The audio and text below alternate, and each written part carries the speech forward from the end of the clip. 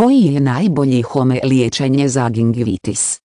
Najbolji home liječenje za gingivitis je četkanje i konac dnevno, i ispirati grlo svaki dan s lijekom za ispiranje usta.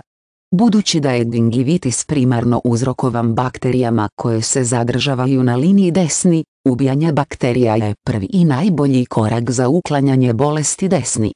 Četkanje i korištenje konca uklanja hranu iz zuba kako bi se spriječilo da klice postanu problem, što je prijeko potrebno da bi se spriječilo vraćanje gingivitisa.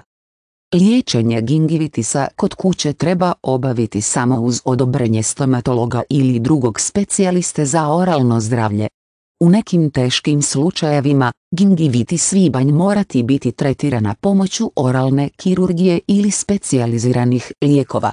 Ako odlazak stomatologu ne dolazi u obzir iz financijskih razloga, korištenje kućnog tretmana za gingivitis može pomoći zadržati bolest dok ne dođe do dogovora.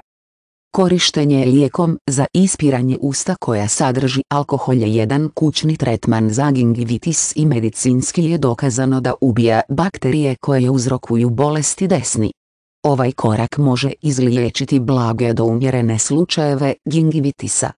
Da bi se postigli najbolji rezultati, potrebno je svakodnevno koristiti usta za ispiranje usta i koristiti samo lijekove s antiseptičkim svojstvima.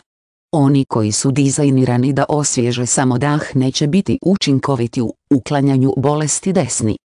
Četkanje i čišćenje zubnim koncem svaki dan je još jedan korak u kućnom liječenju gingivitisa.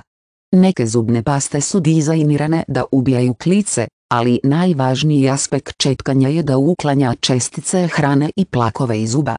Bakterija živi unutar plaka i prijanja u zube i desni, uzrokujući karijes i parodontne bolesti. Zubni konac uklanja hranu i naslage između zuba gdje normalna četkica ne može doseći. Postoje neke kuće recepti za ispiranje usta koji također mogu pomoći u liječenju ili odgađanju nastanka upale desni. Korištenje jabučnog octa pomiješanog s vodom je jedna ideja, budući da ocat ima antimikrobna svojstva. Vodikov peroksid je još jedna korisna substanca koja se stoljećima koristi kao ispiranje usta. Vrlo je učinkovit u ubijanju bakterija, iako je ukus mnogima vrlo neugodan. Konačno, važno je izbjegavati tvari koje mogu oštetiti zube kako bi se iz kućnog liječenja gingivitisa izvukao maksimum. One mogu uključivati hranu koja je vrlo kisele prirode, kao što su soda ili citrusi, te hrana visoke u šećeru. Budući da neko voće i povrće može sadržavati visoku razinu kiseline ili prirodnih šećera, zube treba temeljito očistiti odmah nakon konzumiranja.